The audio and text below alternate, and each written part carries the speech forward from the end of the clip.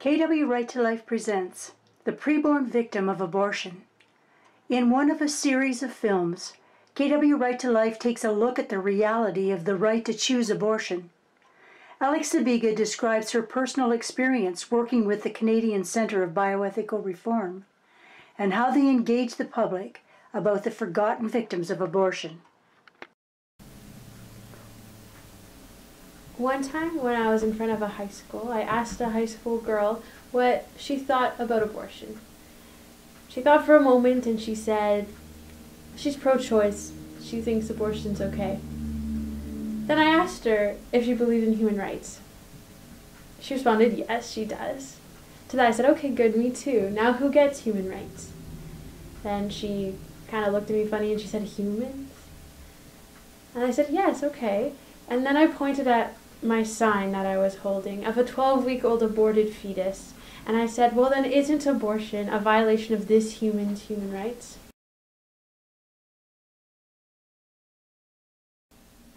She looked at my image closely for a, for a few moments, and then she said, Yeah, I guess you're right. I never thought about it that way. And I asked her, After seeing this image, do you think differently about abortion?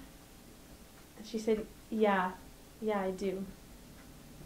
So my name is Alex Sabiga. I'm 22 years old. I'm a university student and I live in Kitchener, Ontario. I volunteer with the KW Right to Life and I've spent a lot of time working with CCBR, the Canadian Centre for Bioethical Reform.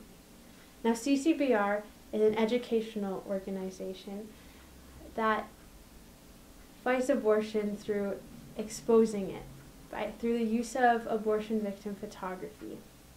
Because when you're debating against abortion, isn't the person who has the most to say the victim himself?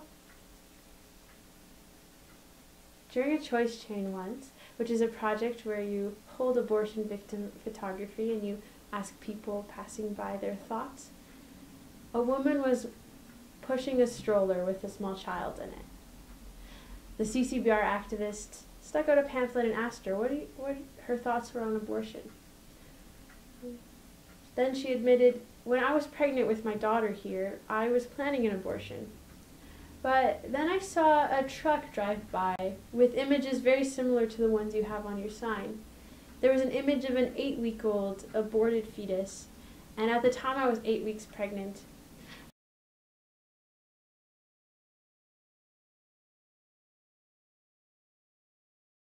After seeing that image, I knew I couldn't do that to my child, and so I canceled my abortion appointment.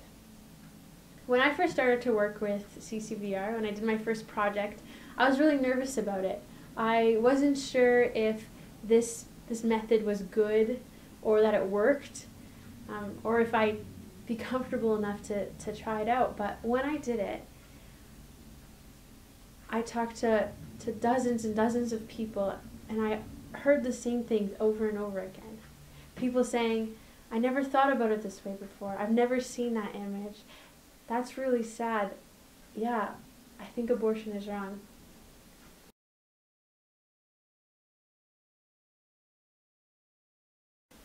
The use of abortion victim photography exposes the injustice because when an, injustice is invisible, it inevitably becomes tolerable. But when an injustice is made visible, then, only then, becomes intolerable.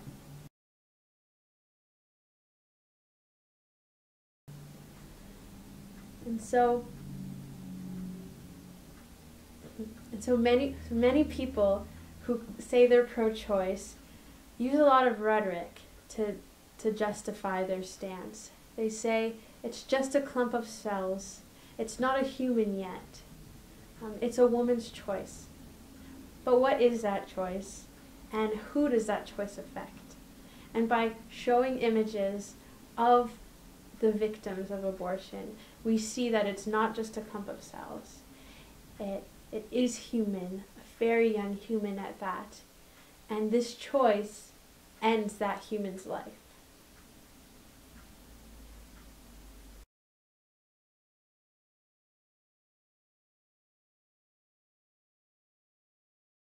If we want abortion to end, we not only have to do um, what we're comfortable with or the pro life work that we desire to do, but we have to do what's effective, what works and what has results. And CCBR, through the work that they do, time and time again, people's minds are changed, people's hearts are changed, and lives of babies are saved.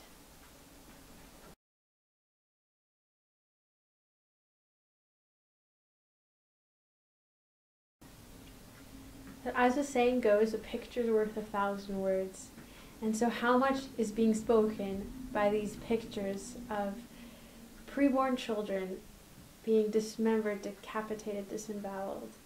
It's not a pretty picture, but abortion isn't pretty. And people need to see it to, to understand what's actually happening.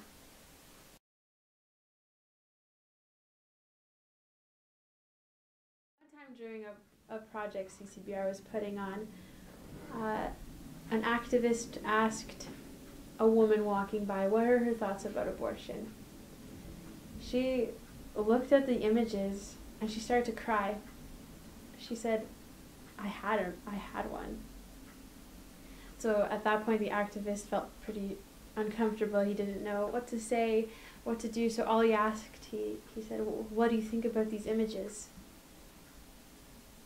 Well, then to that, this woman started to appear really angry and said, I didn't know that that's what that looked like. I didn't know that that's what an abortion was.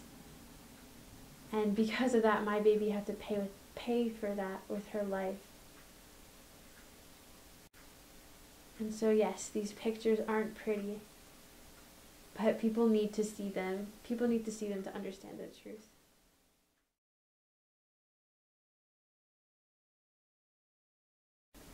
My experience with CCBR is during my second year of university, I went, went out for a week with them to do their genocide awareness project. Now I was hesitant going in, but after that week of so many incredible conversations and so much effective change, I decided I need to keep doing this. If I want to do pro life work, I want to do what works. And so I'm going to keep working with CCBR. That led me to do their summer internship last year. So I spent four months in Mississauga reaching out to the GTA with the truth about abortion, seeing once again so much change and so many minds reconsidering, questioning abortion for the first time ever.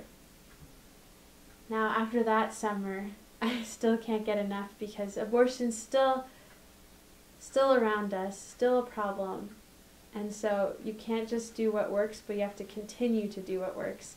And so I'm joining once again for another internship this upcoming summer.